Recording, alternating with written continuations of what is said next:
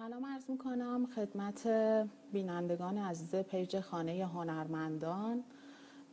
ممنونم که نشست های ما رو دنبال می کنید ما امروز در خدمت جناب آقای هادی مزفری هستیم مدیر کل هنرهای تجسمی وزارت فرهنگ و ارشاد اسلامی. با موضوع فرصت های مطالعاتی از مجموعه نشست های نقش پژوهش در خلق هنر.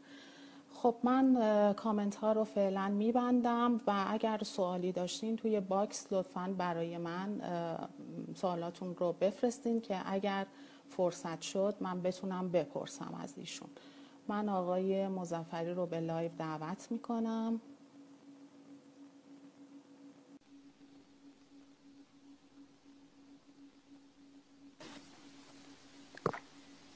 سلام جناب آقای مزفری سلام عرض می‌کنم خدمت شما خانم خشخاشی عزیز و عزیزانی که ما رو می‌بینند.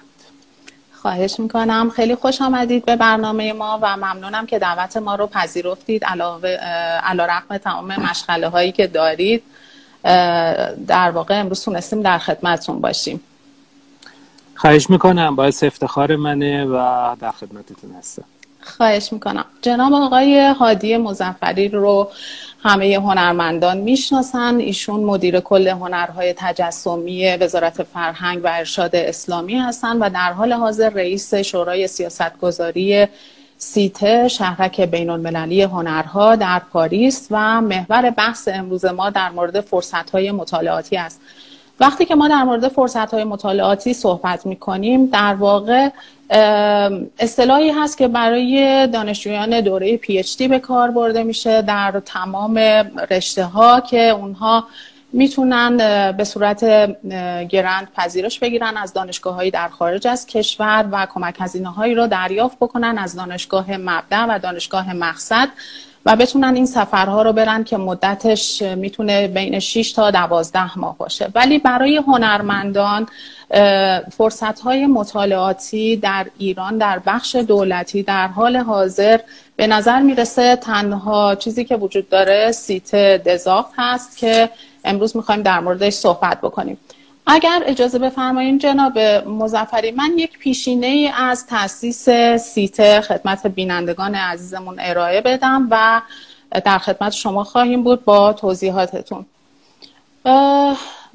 در واقع ایده Cité Internationale des Arts توسط یک هنرمند فنلاندی به نام ارو اسنلمن طی سخنرانی که در نمایشگاه بین المللی هنر و تکنیک در زندگی مدرن در سال 1937 داشتن این ایده رو مطرح کردند اما بعد از جنگ جهانی دوم این ایده توسط آقا و خانم فیلیکس برونو به یک پروژه واقعی تبدیل شد. یعنی در واقع ده سال بعد در سال 1947 و از حمایت وزارت فرهنگ و امور خارجه و همچنین آکادمی هنرهای زیبای پاریس بهرهمند شد. اولین دفترش در وزارت فرهنگ بود و در سال 1956 افتتاح شد. کارگاه های معروف به کارگاه های زنده یا آتلیر لوژمونت برای اقامت و کار کردن هنرمندان طراحی شد این کارگاه ها در دو نقطه بود. یکی در منطقه مقه واقع در خیابان هتل دوویل روبروی جزیره سنلویی در پاریس و مکان دیگر اون در مونمارت بود.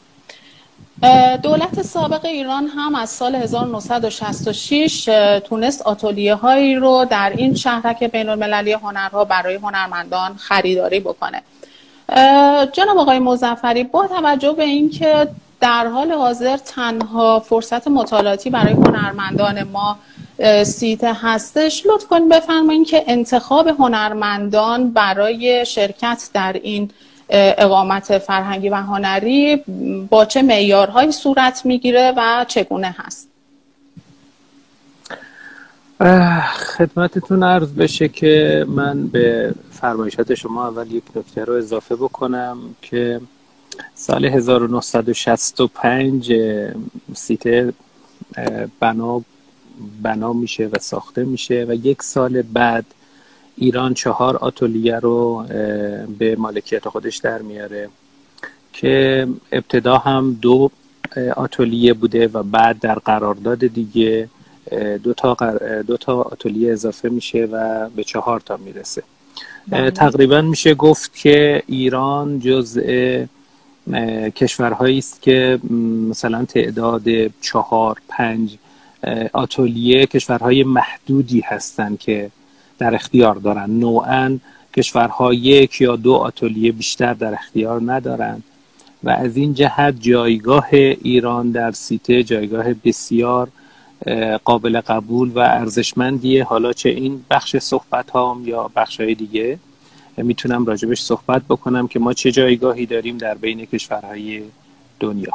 اما در مورد برمیگردم به سوال شما میشه گفت از ابتدا یعنی در تمام این حدود 50 55 سال در وزارت فرهنگ و ارشاد اسلامی معاونت هنری مسئولیت اعزام هنرمندان به شهرک بین المللی سیته با موزه هنرهای معاصر تهران بوده و نوعا یک کار اداری باهاش برخورد می شده که هنرمندانی که متقاضی بودند تقاضای خودشون رو ارائه می کردند رسیدگی می شده و در صورت اینکه حائز شرایط لازم بودن اونها اعزام می شدن آینامه ای هم داشته برای شناسایی هنرمندان برای اعزام به سیته.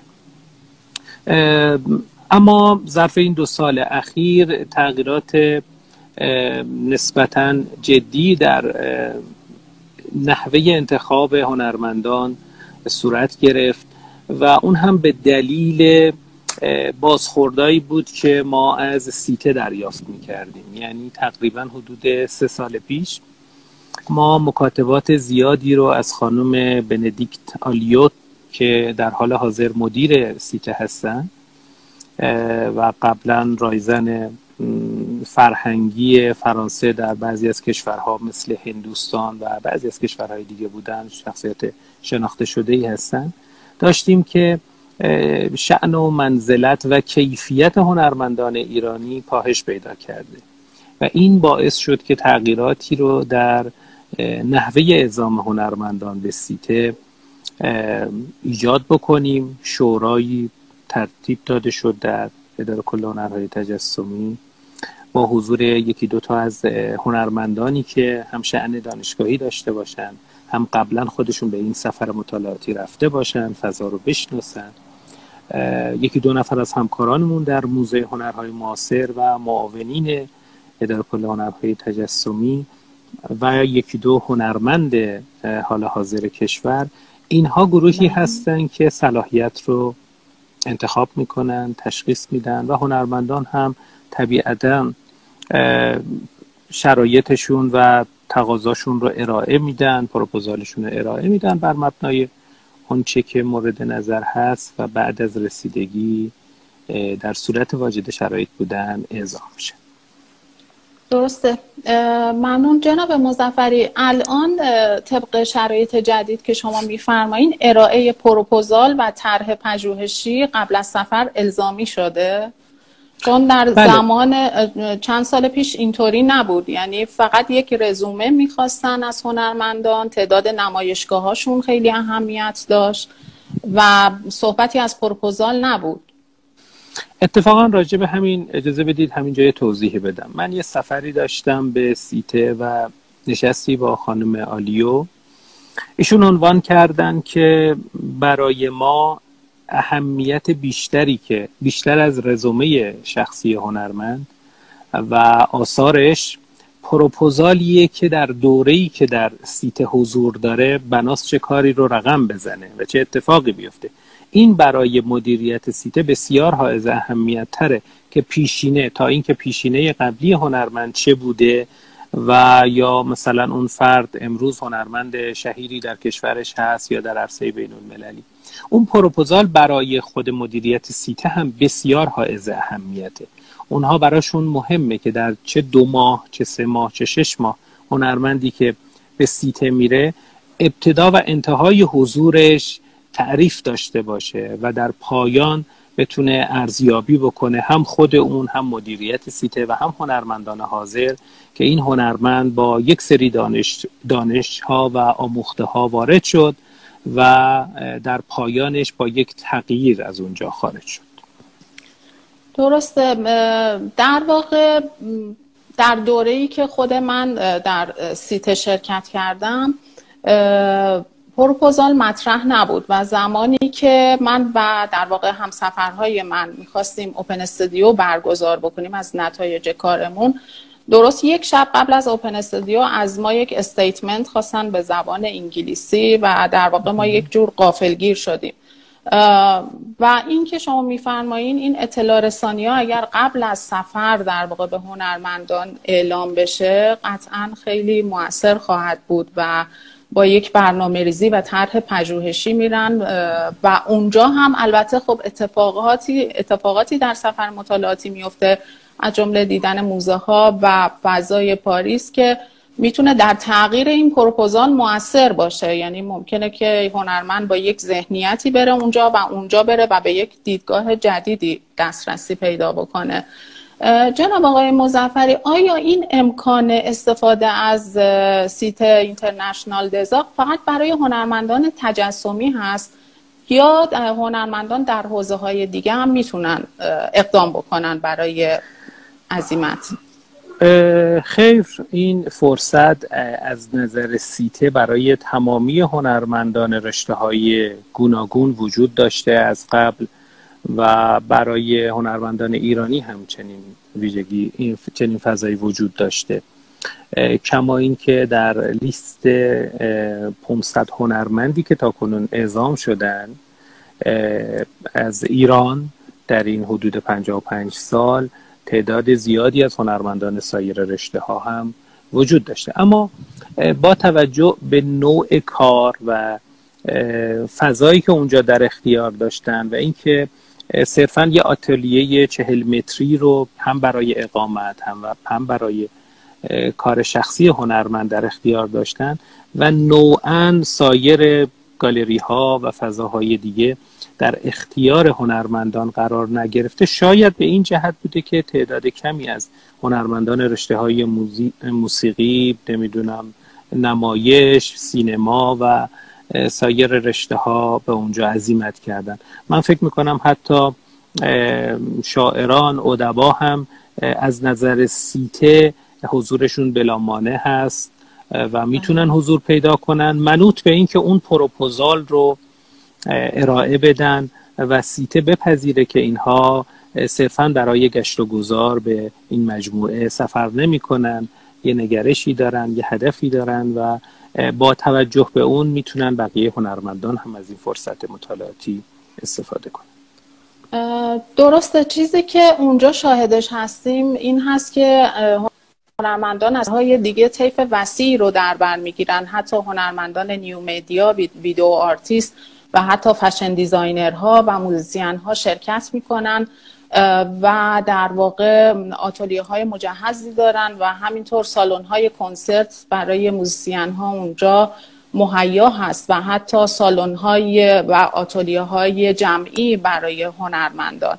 که امیدوارم طی برنامه ریزی که جدیدا شما انجام دارین استفاده از اینها برای هنرمندان فراهم بشه. آقای مزفری در مورد یک نکته مهم می‌خواستم اشاره بفرمایید که ربط داشته باشه به بحث ما که بحث بیشتر پژوهش هست. آیا فکر می‌کنین در طی تاریخ سیته هنرمندانی که از قبل از انقلاب اعزام شدن به سیته تا زمان حاضر. این چه دستاوردهایی رو برای تاریخ هنر ما داشته و در واقع چگونه ما تونستیم تحولی رو در هنر خودمون ایجاد بکنیم؟ و چگونه هنرمندان ما از فضای پاریس و از موزه های پاریس تاثیر گرفتن و چه خروجی داشته این سفر برای ما؟ خب خود شما این سفر رو تجربه کردید و جزئیاتش رو می‌دونید سرکار خانم خشخاشی. اگر ما به فهرست هنرمندانی که از ایران شرکت کردن در این سفر مطالعاتی نگاهی بندازیم می‌بینیم که بسیاری از بزرگان هنر در این که امروز بزرگان هنرهای تجسمی هستند به این سفر رفتن. یعنی شما از سهراب سپهری در نظر بگیری تا محمد احسایی تا فرامرز پیر پیلارام تا نمی‌دونم محسن مرحوم محسن وزیری مقدم حبیب الله آیت اللهی و آقای ایرج اسکندری یعقوب و داوود امدادیان جناب مصطفی گودرزی جمشید حقشناس طاهر شیخ الحکما خیلی خیلی علی اصغر تجویدی دکتر محمد حسین حلیمی آقای گلناری در مجسمه. تقریبا میشه گفت امروز همه همه شاید واژه خوبی نباشه. اغلب هنرمندان صاحب سبک و دارای امضا که خودشون هم همتی کردند و از این فرصت استفاده کردن می‌تونیم بگیم که برخوردار از این فضا و این امکان دولت بودند.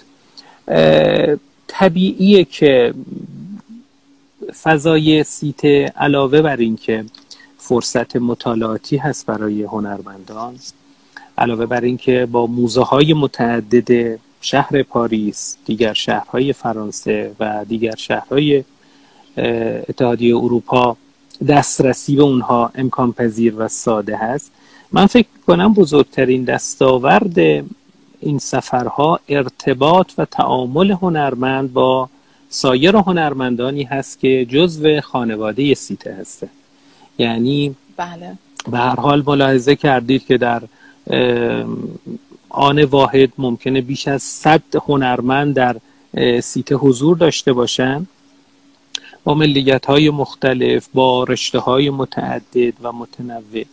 این گفتگویی که بین هنرمندان ایجاد میشه و ارتباطات بعدی که بین اونها ایجاد میشه. من فکر می‌کنم دستاورد ارزشمند و قابل اتکایی است.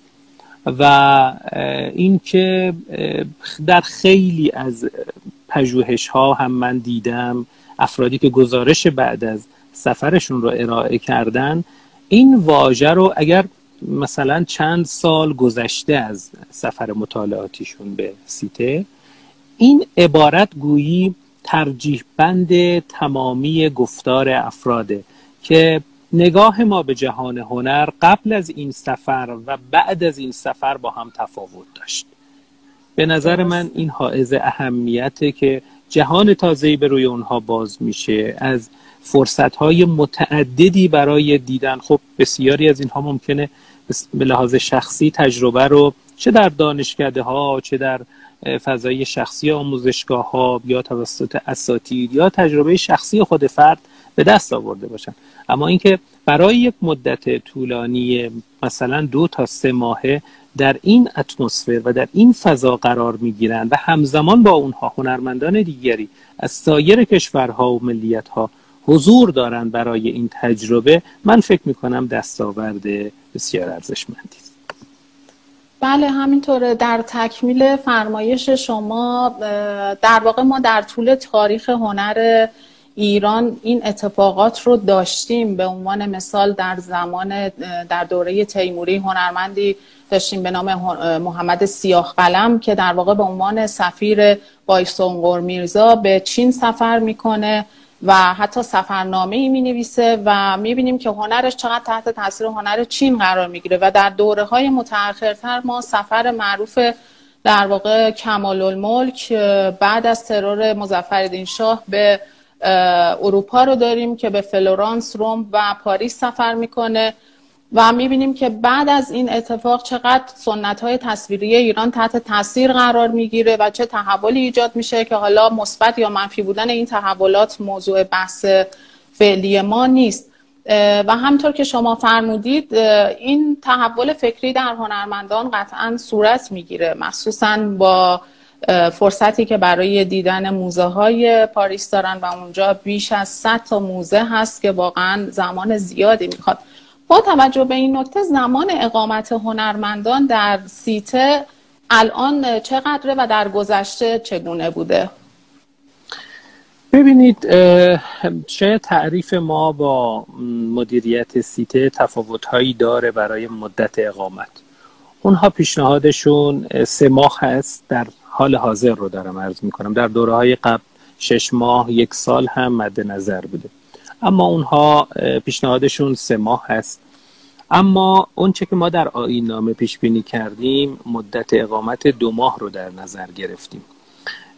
شاید بخشیش به جهت اینه که تعداد هنرمندان بیشتری فرصت مطالعاتی سیتر رو بتونن تجربه بکنن و شاید هم بخشیش از سوی خود هنرمندان این اتفاق افتاده. ما اگر خیلی بخوام اینجا صادقانه صحبت بکنم هنوز که هنوزه تعدادی از هنرمندان احساس می‌کنن که خب سیته یه هتلی هست و یه فرصت اقامتی هست و اگر سفری دارن اگر نمایشگاه انفرادی یا گروهی دارن در یکی از شهرهای اروپا و به ویژه فرانسه خوبه که از این فرصت استفاده کنن به جای اینکه در هتل اقامت بگزینند و انتخاب بکنند برن از فرصت اقامت در شهرک سیته استفاده بکنن که خب برای اونها رایگان به عبارتی در میاد به غیر از اون شارژ و اون موارد. این واقعیت نیست. یعنی اینه که سیته به شدت مقاومت می‌کنه. میگه حتی پنج هفته رو من نمیپذیرم که کسی هنرمندی بود شرایط کاریش اقتضا می‌کرد که فقط پنج هفته این سفر رو بره. ما بارها ایمیل زدیم و گپ و گفت کردیم اما سیته نمیپذیرفت. می‌گفت حداقل مدت دو ماه رو ما باید قائل باشیم برای این سفر. و خیلی صادقانه و خیلی شفافش اینه که اینجا هتلی نیست برای یک دوره زمانی اقامت. اینجا باید شما بیای با یک نگرشی که خلق اثر بکنی اون پروپوزالی که دادی رو محقق بکنی و با دست پر از اینجا بازگردی در سالهای اخیر حداقل می‌تونم بگم دو سه سال اخیر شرایط های ارزی کشور ما افزایش قیمت یورو و ارزهای اروپایی باعث شد که در بسیاری از اوقات خود هنرمندان امکان حضور در بیش از این مدت رو نداشته باشند. یعنی ما تقاضاهای بسیاری داشتیم که آیا می‌تونیم برای یک ماه این سفر رو انجام بدیم؟ آیا می‌تونیم برای 45 روز؟ که نه ما, ما موافقت می‌کردیم در شورا و نه مدیریت سیته این رو میپذیرفت. حداقل مدت دو ماه رو مد نظر قرار می‌داد. حالا شاید سیته یک دلیل دیگه هم برای این موضوع داره. اونها هزینه های مدیریتی اونجا رو از محل دریافت شارژی که از هنرمندان اخذ می‌کنن پرداخت بله. می‌کنن و به نوعی هزینه هاش رو باید توسط خودشون پرداخت بشه اینکه یک گروه یا تعدادی هنرمند مثلا یک هفته ده روز یک ماه بیان و اونها مدام بخوان این جابجایی و تغییر رو برای هنرمندان فضاش رو فراهم بکنن به لحاظ مدیریتی اونها رو هم دچار مشکل می‌کنه ضمن اینکه پروسه معرفی و انتخاب هنرمندان هم تقریبا فرایندی کمتر از چهار ماه برای ما نیست. یعنی از زمانی که طرف تقاضاش رو ارائه میده پروپوزالش رو ارائه میده در شورا طرح میشه و تصویب میشه. تا زمانی که فرد دعوتنامه براش میاد ویزا می‌گیره و اعزام میشه حداقل چهار تا پنج ماه زمان می‌بره. اینکه مدام قرار باشه برای یک هنرمند چهار پنج ماه تلاش بکنی شش ماه تلاش بکنی که یک ماه اون حضور داشته باشه واقعا غیر ممکن هست و شدنی نیست. اما من اطلاع دارم که بعضی از کشورهای دیگه تعداد هنرمندان کمتری رو اعزام می‌کنن اما دوره های طولانی تر مثلا یک آتلیه دارن و در سال نهایتا دو, دو هنرمند رو معرفی می‌کنن برای دو دوره شش ماهه. اون برمیگرده تقریبا به سیاست های اون کشورها و اینکه با تعداد محدودتر اما زمان طولانی تر می‌خوان از این فرصت مطالعاتی استفاده بشه. درسته. الان برای هنرمندانی که بخوان از الان به بعد اقدام بکنن و یا اخیرا اقدام کردن هزینه ها چقدر هست؟ ببینید این هزینه اقامت در اونجا من به همه هنرمندان عزیز اعلام می‌کنم که رایگان هست. یعنی نه ما در دولت بابت حضور هنرمند هیچ مبلغی رو دریافت می‌کنیم. یعنی کاملا رایگانه. سیته هم بابت اقامت دریافت نمی‌کنه. بابت شارژ زمان حضور هنرمند برای هر ماه 600 یورو دریافت می‌کنه که این 600 یورو رو در ابتدای ماه دریافت می‌کنه. مثلا اگر اعزام مثلا هنرمندان ما به لحاظ شمسی خورداد و تیر هست ابتدای ورودشون اون یک ماه رو دریافت می‌کنه. یا مثلا اگر طرف ژانویه و فوریه داره میره ابتدای ژانویه اون شارژش رو دریافت می‌کنه و ابتدای فوریه هم دریافت می‌کنه. و اون چیزی که پیش ما به امانت گذاشته میشه معادل همین دوتا مبلغ شارژه یعنی بله. دو تا 600 یورو امانت می‌ذاره فرد که اگر در اونجا حاضر شد براش کاری پیش اومد ظرف یک هفته سیتر رو ترک کرد طبیعتا هزینه اون شارژ هنرمند رو ما باید پرداخت بکنیم و در این صورت هستش که ما از محل مبلغی که فرد به امانت گذاشته این وجه رو در وجه مدیریت سیته پرداخت خواهیم کرد و الا هزینه دیگری نداره جز اینکه بلیت هواپیما و هزینه های خورد و خوراک و شخصی فرد هست در سفر. اما بابت این هزینه دیگه پرداخت نمی‌کنه. درسته. جناب مزفری امکاناتی که اونجا توی آتولیه ها هست چگونه هست برای هنرمندان و چقدر این آتولیه ها تجهیز شده و امکانات بروز شده؟ ببینید من سال گذشته که بازدید داشتم از این مجموعه و سعی کردم از سایر آتولیه ها هم بازدید بکنم. نمی‌تونیم ادعا بکنیم که بهترین آتولیه ها رو در سیته داریم و نمی‌تونیم بگیم بدترین آتولیه ها رو در سیته داریم. تقریبا طی این از 1966 که ایران در حال اعزام هنرمند هست تا به الان بازسازی کامل و زیربنایی انجام نشده. و همه آتولیه ها در همون حد استاندارد و شرایط قبلی وجود داشته.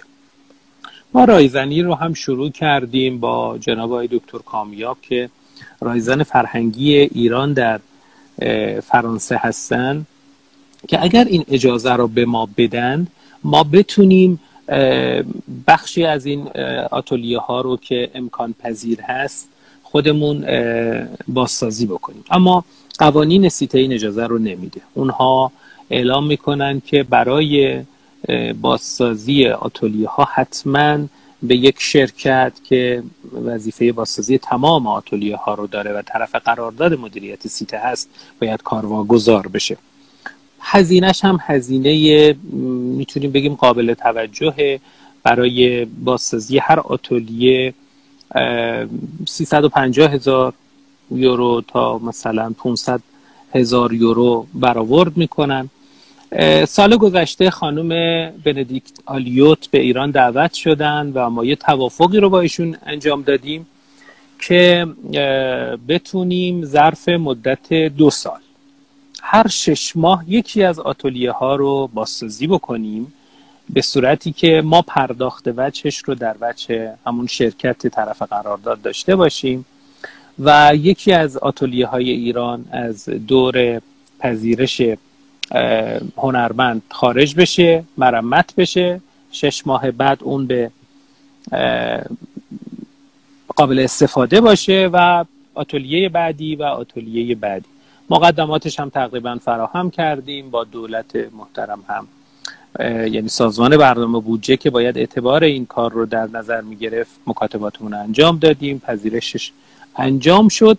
متاسفانه در قبل از سال جدید یعنی سال 99 که توافق ما بود برای شروع اولین آتولیه مصادف شدیم با شرایط کرونا در دنیا و اینکه خود مدیریت سیته اعلام کرد تا اطلاع ثانوی این مجموعه تعطیل هست و پذیرش هنرمند ندارند تا زمانی که شرایط به حالت طبیعی و عادی بازگرده. اما این توافق بین ما رد و بدل شده و مکتوب شده. حتی مذاکره ای هم خانم آلیوت با جناب آقای دکتر حسینی معاون هنری داشتند و آقای حسینی هم این رو پذیرفتن که انشالله ظرف مدت دو سال ما بتونیم هر چهار آتلیه ایران رو به صورت کامل بازسازی و نوسازی بکنیم. بله درسته. البته جناب مزفری من فکر کنم این بازسازی باید با یک دقت خاصی انجام بگیره به دلیل اینکه خب اون فضا در این حال که به روز رسانی نشده ولی خب حس نوستالژیک خیلی خوبی داره. به عنوان مثال من خودم در ای که بودم اونجا متوجه شدم که این همون ای هست که سهراب سپهری در اونجا اقامت داشته. و من یک بله. دنیای عجیبی رو تجربه کردم. احساس می کردم این لینولئومای کفپوش های قدیمی که الان من دارم روش راه میرم سهراب سپهری روش راه رفته اون کاشی های آبی قدیمی که حالا ما شاید الان بگیم اینا جالب نیست. ولی من حس خوبی نسبت بهش داشتم.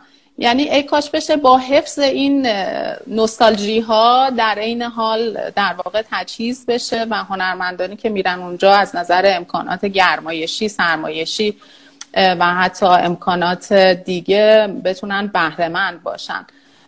جناب مزفری در مورد مراحل گرفتن ویزا هنرمندان با مشکل مواجه نمیشن وقتی اقدام می‌کنن؟ ببینید فرایند به این شکله که پس از اینکه شورای فنی صلاحیت هنری فرد رو تایید کرد طی صورت جلسه ای به ما اعلام می‌کنن که فلان هنرمند صلاحیت هنری اعزام به سفر سیتر رو داره بله. دو تا بحث دیگه میمونه یکی اینکه زمانبندی یعنی اون تایمی که ما در اختیار داریم و مثلا می‌تونیم برای سال آینده به اون قول بدیم آیا اون هنرمند هم آمادگی داره مثلا در تابستان سفر کنه؟ خیلی از هنرمندان تدریس در دانشگاه دارن هیئت علمی هستند و جز تابستان و مثلا ایام نوروز این امکان براشون نیست برای سفر. این زمان به هماهنگی زمانبندی یکی از نکاتیه که باید هماهنگ بشه. و خب طبیعتا یک مجوز حراستی هم دارن که ما باید اون رو به حراست وزارت فرهنگ و ارشاد اعلام بکنیم هنرمند بررسی بشه و در صورت اینکه صلاحیت اون به لحاظ حراستی تأیید شد به ما اعلام می‌کنن که می‌تونید برای ویزاش اقدام بکنید. حسب اعلامی که ما به مدیریت سیته انجام میدیم ظرف یک هفته زمان می‌بره که سیته برای فرد دعوتنامه ارسال می‌کنه. به محض دریافت دعوتنامه اون فرد می‌تونه از سفارت وقت بگیره و به سفارت مراجعه بکنه و خب در حالت عادی تقریبا دو هفته زمان لازم داره برای اینکه ویزا برای اون صادر بشه. می‌تونم بگم اگر همه موارد در زمان خودش و در جای خودش انجام شده نوعا کسی با مشکل صدور ویزا مواجه نشده. اما مواردی هم بوده که یه هنرمندی انصراف داده مثلا یه ماه یه ماه و نیم قبل از سفر شرایطی براش پیش اومده که امکان این سفر براش ممکن نبوده. و فرد دیگری هم اعلام کرده من آمادگی دارم برای مثلا 45 روز دیگه یا دو ماه دیگه. خب این سرعت عمل باعث مشکلاتی شده. یعنی حتی خود سیته گاهن نپذیرفته برای اینکه کمتر از سه ماه فرصت اعزام باشه و ما تقاضای دعوتنامه بکنیم. اما در حالت عادی و شرایط روتین معمولا مشکلی نبوده. درسته. جناب مزفری این کارت عضویت سیته وقتی برای هنرمند صادر میشه و در واقع اسم هنرمند توی سایت سیته به عنوان یک هنرمند بین المللی ثبت میشه این چه اعتباری برای هنرمند داره و هنرمند از چه مزایایی می‌تونه با داشتن اون کارت استفاده بکنه؟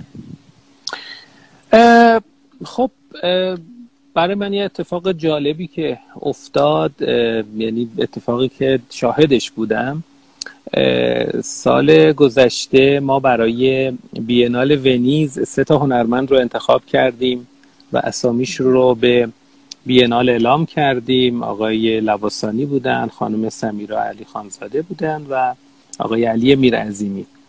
به محض اینکه این اعلام شد و این پذیرش در بینال اتفاق افتاد سیته خبر این که یک نفر از اعضایی که قبلا به شهرک سیته سفر مطالعاتی داشته و امروز به بینال ونیز دعوت شده و جز هنرمندان ونیز هست رو روی سایتش منتشر کرد. این رصد و این پیگیری سیته برای افرادی که احساس می‌کنه در عرصه بین المللی جز خانواده اون هستن و این هنرمندانی که این دوره اقامت و دوره رزیدانسی رو اونجا انجام میدن جز خانواده اون به حساب میان جالب توجه بود برای ما. و اطلاع هم دارید دیگه. وقتی که فرد یک بار این سفر رو انجام میده از هر کشوری بار بعد و دفعات بعد نیازی به طی مراحل قبلی رو نداره. یعنی شما اگر یک بار این سفر رو انجام داده باشید و کارت سیته داشته باشید بار دوم بخواید این سفر رو انجام بدید مستقیما می‌تونید ایمیل بزنید و از خود سیته تقاضای زمان برای اقامت بکنید و این سفر رو تکرار بکنید. من فکر می‌کنم که برای بعضی از هنرمندان حداقل این اتفاق افتاده بود که کسانی که کارهای دراز مدت یعنی یه روی پروژه‌ای مثلا پنج سال شش سال کار می‌کردن این فرصت نیاز بود که چند بار تکرار بشه. ما البته مراعات می‌کنیم سعی می‌کنیم به خاطر اینکه این فرصت برای همه هنرمندان ایجاد بشه از اعزام بار دوم و بارهای تکراری هنرمندان خواهش کنیم که این سفر رو انجام ندن و اجازه بدن به بله. دیگران این فرصت ایجاد بشه اما سیته این محدودیت رو نداره و از آتولیه هایی که خودش در اختیار داره در اختیار هنرمندان قرار میده پس یعنی اون چهار تا آتولیه مختص هنرمندایی که از طرف شما اعزام میشن و هنرمندانی که برای دفعات بعد اقدام می‌کنن البته با ارائه پروپوزال در صورتی که مورد قبول اونها قرار بگیره وارد آتولیه های خود فرانسه میشن. دیگه از بله، آتولیه های ایران استفاده نمی‌کنن. بله کاملا درسته. یه نکته دیگه هم حالا شاید شما مواجه شده باشید که این تعداد که امروز راجبش صحبت میشه سیته اعلام کرده که تا کنون بیش از 22 هزار هنرمند در دنیا از این سفر مطالعاتی استفاده کردن و ایران با اعزام 500 هنرمند رتبه ششم رو در جهان داره از این جهت برای خود سیته ایران بسیار حائز اهمیت و مهمه یعنی بله. استهزار دارید که اونجا 326 آتولیه هست که مربوط به 135 کشور دنیاست خب بله. کشورهایی هستند که در مجموع شاید تعداد هنرمندانی که اعزام کردن در طی این 50 55 سال به ده نفر 15 نفر هم نرسیده با دوره های اقامت طولانی تر. این عدد بیش از 500 هنرمند و جایگاهی که ایران در رتبه ششم داره بسیار برای خود سیته هم حائز اهمیت. بله درسته. البته من در تکمیل فرمایش شما یک نکته هم بگم که داشتن کارت عضویت سیته مزایایی که در طول سفر برای هنرمندان داره اینه که می‌تونن از موزه ها به صورت رایگان بازدید بکنن با ارائه این کارت و همینطور مراکز فرهنگی و هنری که خود به هر حال بلیت این موزه ها هزینه زیادی می‌تونه باشه. حتی بعضا مشاهده شده که هنرمندان با ارائه این کارت خارج از اون صفهای طولانی موزه ها تونستن وارد بشن و در وقتشون صرف جویی بکنن. و در واقع این کارت انقدر اونجا اعتبار داره که وقتی شما کارت رو ارائه میدین با یک احترام خاصی با هنرمند برخورد میشه و احساس می‌کنن که شما یک فرد هنرمند محقق و پژوهشگر هستین و باید نهایت در واقع تحصیلاتی که دارن رو برای شما قائل بشن. و این خیلی باعث افتخار هست. جناب مزفری در مورد برگزاری اوپن استودیو در پایان سفر اگر توضیحاتی بدین و اهمیت اون ممنون میشم. خواهش می‌کنم. ما مکاتبات یا شاید بگیم اعتراضاتی رو از هنرمندان عزیزمون داشتیم که سیت فرصت کافی رو در اختیار ما برای اوپن استودیو قرار نمیده و شاید مثلا در اختیار سایر کشورها قرار میده. شاید ما رو به اون اندازه ای که سایر کشورها رو می‌بینه نمی‌بینه و این فضا رو برای هنرمندان ایرانی قائل نیست. اینو جز مذاکراتمون هم در سفری که من داشتم به پاریس و هم در سفری که خانم آلیو داشت به تهران مذاکره کردیم. اونا اعلام کردن که واقعا شرایط بسیار سختیه. یک یا دو شما ملاحظه کردید گالری اصلی که در فضای شهرک هست و همه هنرمندان و همه کشورها متقاضی استفاده هستند ما مشکلات جدی داریم و تقاضای بسیاری داریم که عرضه کافی رو نمی‌تونیم در برابر اونها داشته باشیم. اما منوط به اینکه پروپوزال فرد مثلا شش ماه قبل از سفر به دست ما برسه طرح اون اونقدر جذاب باشه که احساس کنیم برای تمام ملیت ها و تمام هنرمندان این جذابیت رو داره و همچنین دوره فعالیت هنرمند در این دو ماه سه ماه هم ما شاهدش باشیم چون خودتون می‌دونید که اونها رصد می‌کنن به هنرمند سر می‌زنن احوالش رو می‌پرسن پیشرفت کارش رو شاهدن طبیعتا اگر ما این جدیت و همت رو در کار اون ببینیم و کیفیت آثارش رو ببینیم حتما جایگاهی رو براش در نظر, در نظر می‌گیریم اما. خیلی هم اعلام می‌کردن که در شرایط عادی بسیاری از هنرمندان میان و خب این دو ماهشون رو حضور دارن و یه هفته به پایان دوره مطالعاتیشون اعلام می‌کنن که خب ما هم می‌خوایم از فرصت نشنال گالری استفاده بکنیم و این فرصت رو در اختیار ما قرار بدیم که اونجا برای ما مقدور نیست چون تقریبا برنامه ها تا دو سال آینده بسته شده و پر هست نمی‌دونم من پاسخ شما رو به اون چیزی که مد نظرتون بود دادم یا بله. حرف دیگه ای بله درسته. گالری که نشان گالری که شما اشاره کردین گالری هست که در طبقه آخر سیت قرار داده و مثل همه گالری های دیگه برنامه ریزی می‌کنن. از قبل که چه کسی اونجا نمایشگاه داشته باشه و البته هزینه ای رو هم از هنرمندان دریافت می‌کنن بابت بله، اون بله. گالری. اوپن استودیو فرقش در اینه که هنرمندان روزی رو مشخص می‌کنن و در استودیوی خودشون رو باز می‌ذارن دعوت می‌کنن از هنرمندان سایر کشورها که بیان توی آتولیاشون و کارهاشون رو ببینن و در واقع یه حالت مهمونی داره که بیشتر جنبه آشنایی هنرمندها با همدیگر رو داره و کارهاشون رو روی دیوار نصب می‌کنن و تبادل نظر می‌کنن.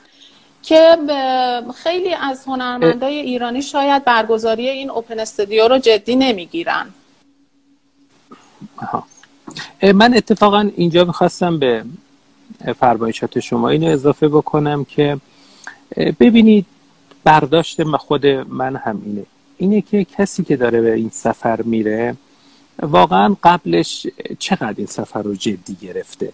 یعنی واقعا با همون نیت یه سفر گردشی یه دوره مثلا زمانی بره اروپا رو ببینه بره پاریس و فرانسه رو شهرهای مختلفش رو ببینه و در سیت اقامت کنه. این یه نگاهه. یه فردی که واقعا داره میره که اثری از خودش به جا بذاره و اصلا در بله. طول تاریخ سیته هم از خودش نامی به یادگار بذاره. من حتی می‌تونم موارد آسیب های این حوزه رو هم اگر بخوام برای شما بیان بکنم متاسفانه در این دوره زمانی خیلی تعداد محدودی هنرمندانی بودن که رفتن اونجا و در اتاقشون رو بستن و حتی بله. مدیریت سیته اگر به اونها سر زده پاسخگو نبودن. یا اومدن در قفل کردن صبحها رفتن به گشت و گذار و دیدن شهر و شبها برای خوابیدن و مثلا استراحت برگشتن. خب اون کاملا معلومه که هدف نیت سفرش نیت مطالعاتی و بهتر شدن فضای هنر برای خودش نبوده اما اونچه که من به از نزدیک دیدم و با هنرمندانی هم که اونجا در اون دوره اعزام شده بودن داشتن کار می‌کردن برنامه اوپن استدیوشون کاملا مرتب بود یعنی در بله. ملاحظه کردید که در آسانسور اعلام می‌کنن که امروز مثلا در فلان آتلیه ایران چنین فضایی وجود داره افراد دعوت میشن و این چون محدودیتی تقریبا نداره از نظر مدیریت سیته اگر خود هنرمند تمایلی به این کار داشته باشه و انگیزه این و اعتماد به نفس این کار رو داشته باشه می‌تونه بارها و بارها این کار رو تکرار کنه. اگر این اتفاق نمیفته من فکر می‌کنم به انگیزه و علاقه خود فرد برمیگرده. درسته. حتی هنرمندانی بودن که انقدر این اوپن استودیو رو به صورت جدی برگزار کردن و کیفیت کارشون عالی بوده که تونستن از طرف بله. مادام لیوت در واقع دوباره یک فرصت مطالعاتی بگیرن و ازشون درخواست شده که در آتولیه های خود فرانسه سفرشون رو ادامه بدن. این موارد هم پیش اومده. این دیگه به قول شما بستگی به نیت اون هنرمند داره و اینکه چقدر این سفر براش جنبه پژوهشی داشته باشه. جناب مزفری من فکر می‌کنم نکته باقی نمونده. شما اگر مورد خاصی دارین بفرمایین در مورد خود ساختمان سیته یا برنامه های فرهنگی و هنری که فراخان میده در سایتش. اگر نکته هست خواهش می‌کنم بفرمایید. من دو نکته رو برای اون عزیزانی که این برنامه رو دنبال کردن یا حالا بعدا ممکنه بشنون یا ببینن و علاقه من به این سفر باشن داشته باشم. بیان می‌کنم که هنوز متاسفانه این ذهنیت برای تعدادی از هنرمندان ما وجود داره که سیته یا آتلیه که مثل یک گالری برای اونها یک فرصتی رو فراهم می‌کنه که آثارشون رو از اینجا داخل چمدان بذارن و ببرن اونجا روی دیوار قرار بدن و دیگران رو دعوت بکنن به حالا نمایشگاهی که مثلا در یک گالری در خیابان دویل پاریس برگزار شده. این نیست. این نکته اول که اونجا نمایشگاه نیست. و یه ذهنیت دیگه هم که شاید به اشتباه هنوز وجود داره اینه که افراد همون اثری که همون بومی که نصف کاره یعنی نیمه کاره داره روش کار می‌کنه رو با خودش بر میداره یا روی اثر خوشنویسی که داره کار می‌کنه یا روی حتی مجسمه ای که بخشیش رو خلق کرده میره اونجا کارش رو به اتمام برسونه. این هم مد نظر نیست. یعنی نه کارهای نیمه کاره رو باید رفت اونجا تمامش کرد.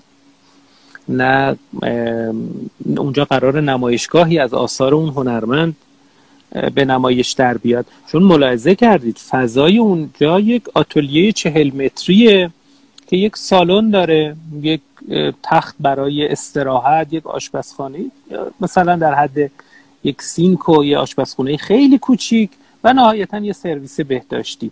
اونجا اصلا فرصت و فضایی نیست که افراد آثار زیادی رو بسته بندی می‌کنن با این نیت که می‌دونم اونجا آثارمون رو به معرض نمایش قرار میدیم. اینها باورهاییه که شاید به اشتباه در هنرمندان شکل گرفته و به نظرم فردی که داره به این سفر میره باید این باورها درش اصلاح بشه. در غیر این صورت اون پروپوزال اون ایده جذاب اون ایده بکر خیلی از اوقات تونسته نقش مهمی رو بازی بکنه در معرفی بهتر کشور ما فرهنگ ما هنر ما.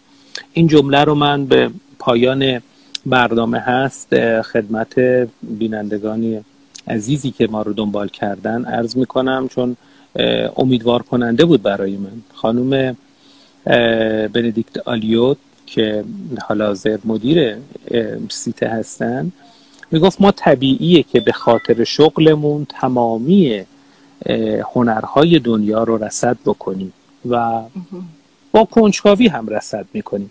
اما نگاه ما نسبت به هنر ایران از کنجکاوی گذشته و به مرحله جستجو رسیده به مرحله کنکاش رسیده. و این خیلی برای ما جذابه که ما با ولع هنر ایران رو دنبال می‌کنیم به نظر من حال که اروپا داره با این قوت و قدرت فرهنگ و هنر ایران رو دنبال می‌کنه این جایگاه رو برای هنر اینها برای هنر ایران قائلن چه خوب که هنرمند عزیز ما که به این سفر اعزام میشه قدر این سفر رو بیشتر بدونه و از فرصت که براش به وجود اومده به عنوان یک سفیر فرهنگی به عنوان یک سفیر هنر و یک سفیر انسانی در فضای جامعه بین المللی با نگاه های غلطی که همیشه تاریخ نسبت به فرهنگ ایران مردم ایران کشور ایران همیشه وجود داشته. میشه از این فرصت استفاده کرد و اونها رو خیلی خیلی بهبود بخشید. بله ممنونم. جناب مزفری ما زمان بسیار کوتاهی از لایومون باقی مونده. شاید در حد پنج دقیقه اگه اجازه بدین شاید بتونیم یکی یا دو تا سوالی که برای من فرستاده شدن رو فرستادن دوستان پاسخ بدیم. اگر اجازه بفرمایین. بله یکی از دوستان به صحبت من ایراد گرفته نوشته ترور ناصرالدین شاه نه مظفرالدین شاه بله من عذرخواهی می‌کنم که این اسم اشتباه گفتم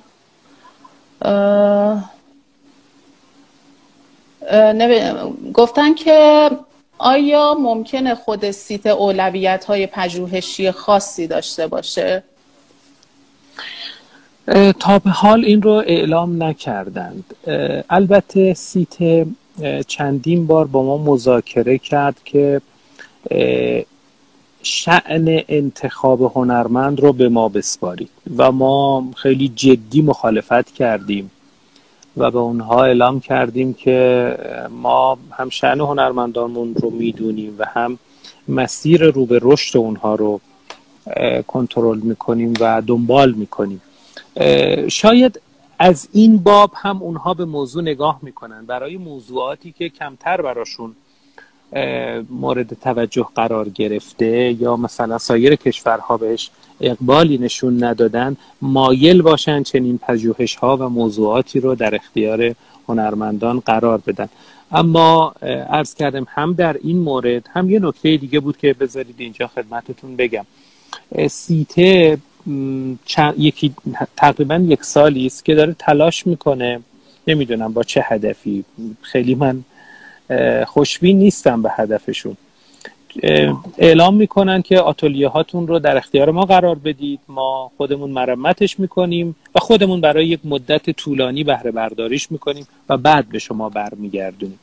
این بله. مکاتبه ای که با کشورها انجام دادن و اینکه بنا باشه آتلیه ها رو از کشورها بگیرن من فکر می‌کنم شاید نیت خیری پشتش نباشه و من می‌تونم بگم به شدت مقاومت کردیم و مخالفتمون رو جدی اعلام کردیم که اگر تمام کشورها هم حاضر باشن آتلیه های خودشون رو به هر قیمتی واگذار کنن یا با هر شرایطی ما ترجیح میدیم که آتلیه ها رو حفظ بکنیم و کماکان این فرصت برای هنرمندان در اختیار قرار بگیره بله خیلی ممنونم جناب مزفری از توضیحات کاملی که در این مورد دادین.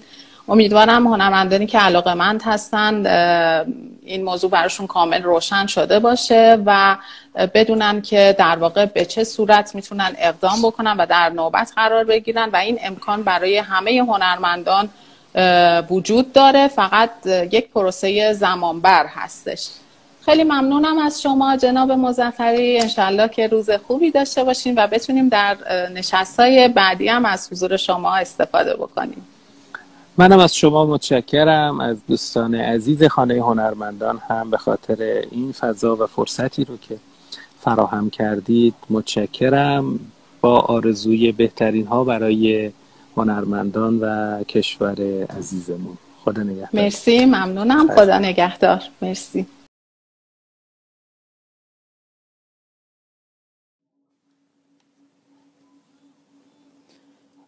سلام مجدد. خدمت بینندگان عزیز پیج خانه هنرمندان. در خدمتون هستیم با بخش دوم نشست امروز تحت عنوان فرصت های مطالعاتی از مجموعه نشست های نقش پژوهش در خلق هنر. من کامنت ها رو میبندم. اگر سوالی داشتین لطفا توی box برای من بذارین که اگر فرصت شد تا انتهای بحث من بتونم سوالای شما رو از جناب آقای رسولوف بپرسم.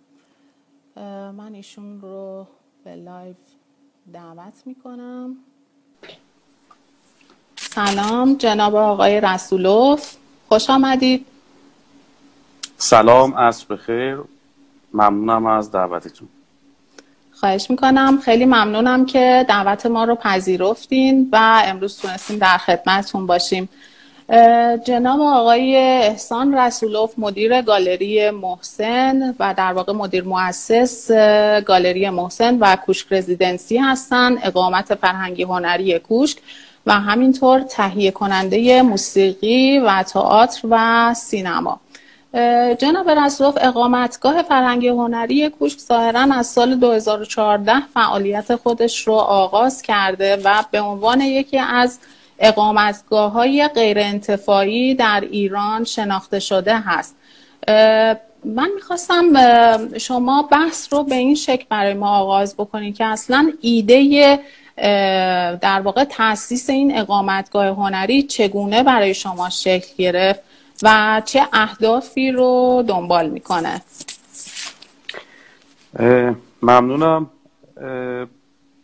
فکر می‌کنم که برای دقیق تر صحبت کردن راجع به ایده تاسیس کوشک باید برگردم به تجربه ای که در تاسیس گالری داشتم. سال 2010 یا 1388 گالری محسن تأسیس شد. ما سال 90 که 2011 در واقع تابستان 2011 ما برای اولین بار تجربه رفتن به آرت فیرها رو در گالری استارت زدیم و به آلمان و استانبول رفتیم.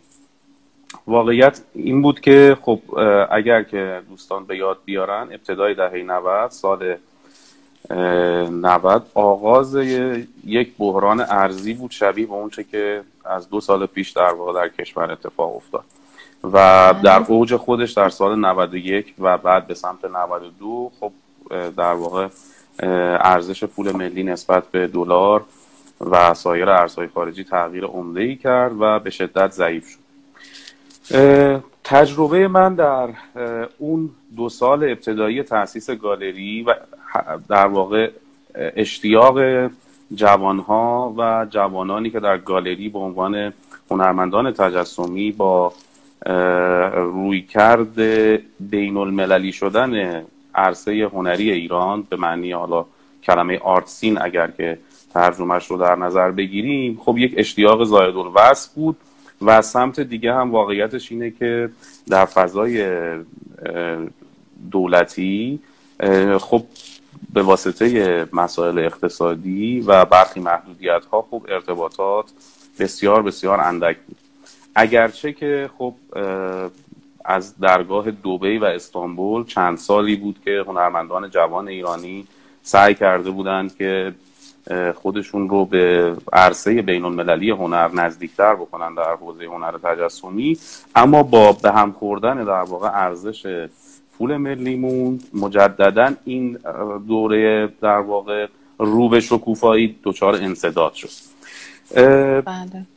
از سمت دیگه من خب حوزه موسیقی رو هم آغاز کرده بودم به عنوان تهیه کننده و متوجه دشواری های بسیار در این در واقع روابط بین المللی بودم. برای همین سال در واقع 91 که شاید اوج اون نگرانی های اقتصادی و در واقع عدم امکان سفر به کشورهای اروپایی و حالا نقاط دیگه دنیا برای تجربیات هنری بود و حتی خیلی از دوستان یادم میاد که در واقع تقاضا داده بودن پذیرفته شده بودن در دانشگاه اما مجبور شدن مثل همین دو سال گذشته به واسطه مشکلات اقتصادی در واقع از رفتن به دانشگاهاشون یا حتی در میانه تحصیل یا در ابتداش انصراف بدن.